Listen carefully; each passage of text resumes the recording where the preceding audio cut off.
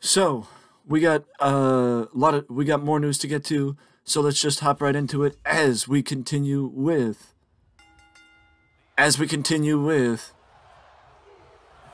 the rivalry that ended, but uh, on an undis uh, well, in a dusty finish last time. So we get get back and do it again.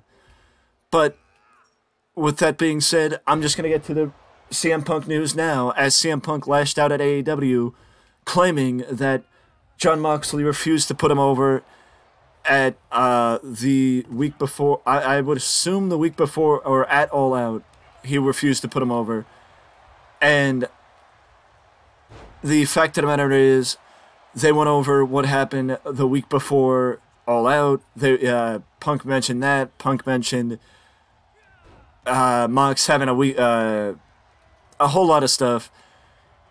Honestly, I don't really know what to think of it, and I don't really have an opinion on it, other than the fact that if any of it is true, what, however you look at it, it makes all it still makes all parties involved not look the best, not look the best. Because I understand legally, I understand that legally there are some, in some cases where they may not be able to talk about certain things.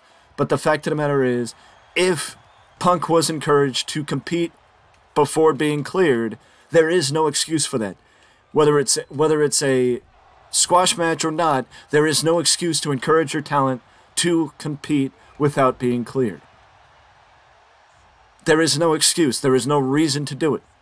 It's a terrible idea. It is a horrible idea because you can even, while they're cleared, you can still run the angle of them being injured if they just came back from an injury. But God forbid they get injured and get injured worse because they weren't cleared. you know, it, it's it, it doesn't make sense why you would even risk it. But also, Punk should not air his dirty laundry in that way because he should have learned his lesson from when he did it with WWE. But also, AEW should have learned the lesson from when he did it with WWE that he would have done it in the first place. You know, he that he would have done it and not hesitated. And that's a fact. Because that's I mean, I, I again, I don't really have an opinion on it. If you know, I think that they should all be adults about the situation if they can be and iron it out like adults. Talk out of the public eye because whatever happened in that window, it's none of our concern because a lot of fans just want to see things work out and things get better rather than things be in the position that they're in or everything be in the situation that it's in. And that's all I got to say about that. That's all I got to say about that. But now we shift over to WrestleMania weekend as I spoke about at the end of the last news video with the Josh Alexander news, the devastating Josh Alexander news. We have the multiverse of the multiverse match, uh, the joint show with New Japan and Impact Wrestling, starting off WrestleMania week next week, and then Super Card of Honor on the Friday from Ring of Honor, the first pay per view since Final Battle from Ring of Honor, and the first on the Honor Club. Also, we will we will be doing more than likely a go home uh, a preview for the go home edition of SmackDown for WrestleMania before WrestleMania, as well as the normal Rampage preview that we do every Friday. Also, Saturday, in NXT Stand and Deliver preview, night one of WrestleMania, and then the following night, WrestleMania night two it's going to be a busy couple days next weekend as we approach the great, the most important night of the year for wrestling fans. And also, as we spoke about during the news video last uh, uh, yesterday, also on April second, it's the Independent Wrestling Hall of Fame. The second class for the Independent Wrestling Hall of Fame is set to be inducted on April second with Excalibur and Mike Modest being the newest inductees announced for the Hall of Fame. But it's going to be a busy week for any content creators, specifically in the wrestling realm, because it is our favorite time of year, because the content just keeps coming. Unfortunately, one person that will be missing impact, uh, over WrestleMania weekend is Cora Jade, as Cora Jade, according to Dave Meltzer, is suffering from an undisclosed injury, as that is the reason why she has been off TV since January. Um, it is again an undisclosed injury, and unfortunately, this likely means that Cora Jade will be not a part of WrestleMania this or NXT Stand and Deliver this year. And I, for one, whatever the injury is, I, for one, wish nothing but the best to Cora Jade in the hopes that she can get to be 100% before long. Speaking of WrestleMania, though, and undisclosed injuries, Bray Wyatt's undisclosed issues will, at this point, keep him away from WrestleMania, more than likely. And there is a backup plan, according to WrestleVotes, as the backup plan, according to WrestleVotes, for WrestleMania for Bobby Lashley if Bray Wyatt is not able to compete, like many believe he is will be unable to compete, will be L.A. Knight. And it is unclear what exactly LA Knight and Bobby Lashley will be doing, as some may think that maybe it'll be simple. You know, it'll be something simple like LA Knight comes out, cuts a promo, and is interrupted by Bobby Lashley. But the fact of the matter is, it seems like LA Knight and Bobby Lashley, according to WrestleVotes, again, is the backup plan if Bray Wyatt is unavailable. Speaking of WrestleMania, though, as we continue to wrap it up, WrestleMania, WrestleMania Night 1, a lot has been made about the possibility of, or the likelihood of, Kevin Owens and Sami Zayn being the WrestleMania main event.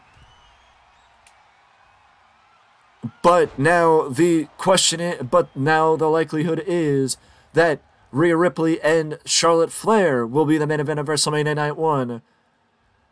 I for one think I mentioned this in the in a previous news video where I basically insinuated that the likely reason for Charlotte Flair and Rhea Ripley being the main event is because the company does not want to lean too heavily on the bloodline.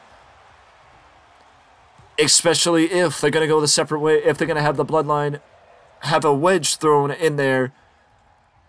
Um, if they're gonna have a blood, if they're gonna, if the bloodline is going to have a wedge thrown in there, in the not too, you know, soon after WrestleMania, they would likely not want the bloodline to be the featured place of WrestleMania as a way to maybe have segments between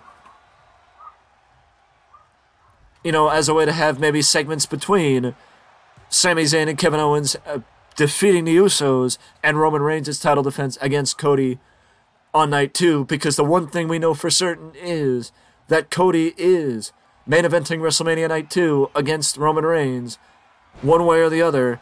So that is something that we know 100%. But the fact of the matter is, we just don't know about WrestleMania night one. And with that being said, we also have a report on the upcoming AEW Saturday show, which will be on the 605 in the old 605 time slot. For those who may not be aware, Georgia Championship Wrestling, I mean uh, Mid Atlantic Championship Wrestling, used to be in the 605 time slot in that area every week, and Dusty Rhodes even went back to say in the early 2000 you know 20 30 years later 20 30 years on or maybe even more than that 30 years on Dusty would still have people come up to him and say how they would watch Mid Atlantic Championship Wrestling 605 every week. And a new report from Andrew Zarian of a Mat Men Pro Wrestling podcast previously reported that AEW could potentially see um. Well, let's uh, let's fast forward. It's just uh, giving us an insight into stuff we already knew about. Uh, in the newest uh, edition of the Wrestling Observer, this from Dave Meltzer, of course. Meltzer reports that the AEW's new Saturday show is planned. Barring any changes, it will debut in July, if not earlier. As of this writing, AEW's June schedule has not has not yet been announced. However, as a part of the company's return to Canada, it is advertising a televised uh, the six the six show tour in Canada from the end of June to mid July, as we spoke about in a previous news video.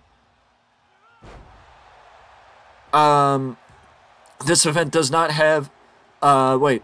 This the company is advertising a televised event in Regina, Saskatchewan on a, on Saturday, July July 8th. This event does not have any branding attached to it, so it's unclear whether it will be a taping of Dynamite Rampage or the potential new show, which it could likely be the potential new show, but the question would more likely be I mean the question the likelihood is it is more likely that AEW would have the potential new show taped with Rampage and have Dynamite on its own now. On Wednesdays, instead of taping Rampage and Dynamite together, they would tape Rampage with the new show on Fridays and not have it where you would um, unless unless this new show is going to be live, which is possible, it would be you would figure that it would be taped with Rampage and not have Dynamite taped with Rampage anymore. But I guess it is the best way to put it. The best way to put it is, like Fightful said, when we when more information is provided, as it becomes available. We will provide more information as it becomes available. There is one more video we have to get to, as MLW has some interesting news that I would like to break down in its own video to give them the opportunity to be spotlighted for the very first time in quite a while. So let's break down that and I will see you in that next video.